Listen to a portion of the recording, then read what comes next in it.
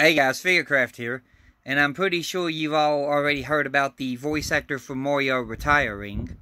So I wanted to make a video, basically, you know, to honor him and all that he's done for us over the years in playing the voice actor for Mario.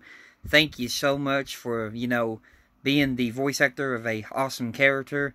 I can't quite do the voices good like he can, but I basically, you know, wanted to show like um what I can do to basically honor him and it'd be nice to meet him one of these days. It would be so nice to meet you one of these days.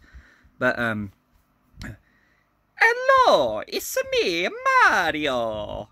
Thank you so much for being the voice actor for your games. We really enjoyed you. Wahoo! Yippee! And then there's um Waha! Wario number one. Then Waluigi number one. then you've got Hello Mario Mario Wah! Oh yeah.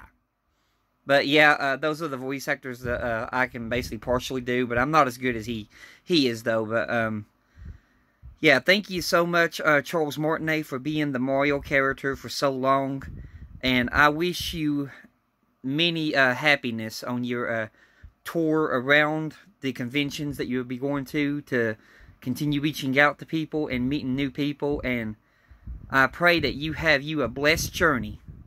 And that's all from me but uh, you all have a blessed one. Goodbye